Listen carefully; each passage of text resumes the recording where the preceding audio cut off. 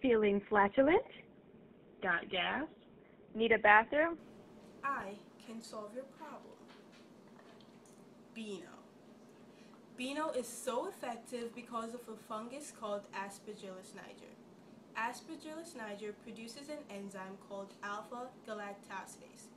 This enzyme breaks down complex sugars in the food we eat. This makes it easy for digestion, which will reduce gas. And why do we need this? So this doesn't happen. Well, how many books does one person need? She's like choosing everything. I think she's reading Barack